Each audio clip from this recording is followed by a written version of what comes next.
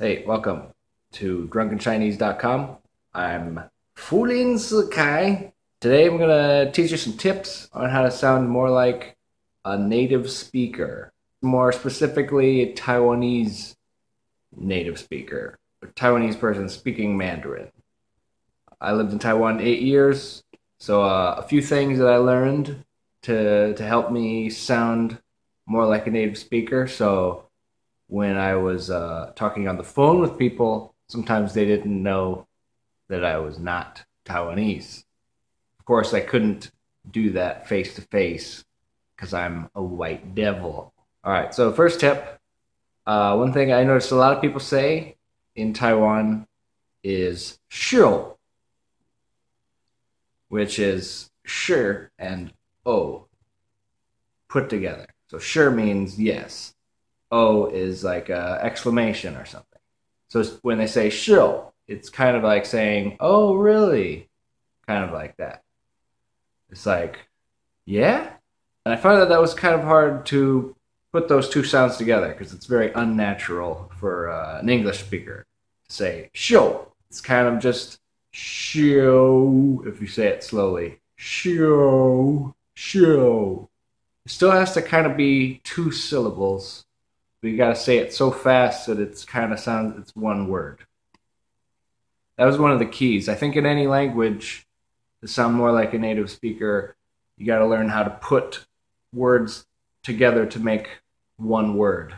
Like in English, we got a lot of words like that, like gonna, I'm gonna go. Well, another word that I heard a lot, uh, words that are put together really fast, is uh, for zheyangzi, this way, They say 这样子,这样子,这样子. It's like one word. Another one is uh, 那种, that type. They say 那种. Sometimes they say it so fast you can't even hear the, the j in the middle. Instead of 那种, they say 那种. One more tip I got is uh, in Taiwan, uh, a lot of guys, when we're in Taiwan, we're uh, meeting a lot of Taiwanese girls and speaking Chinese with Taiwanese girls because Taiwanese girls are cute.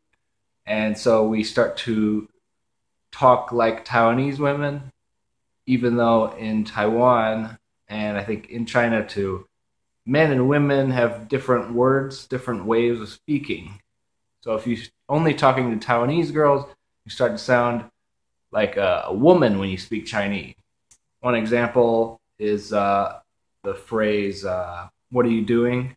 Nigan Sema and Nigama. So guys would say Nigan Sema. Girls would say Nigama or Nigama La. Taiwanese, they add a lot of las and as at the end. So if you're a man, say Nigan Sema. If you're a woman, say Nigama or Nigama La. For more expression, add the La. There's one time I was walking through this park in Taichung and it was kind of late at night and i didn't know that this park happened to be like a gay hangout.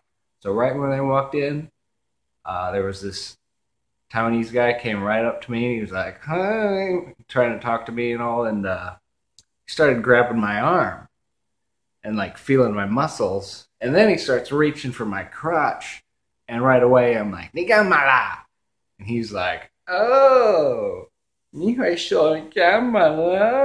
mm, He got really excited when I said Nigamala. I guess because I said it like that, he took it to mean that I was gay too, and I was approving his advances.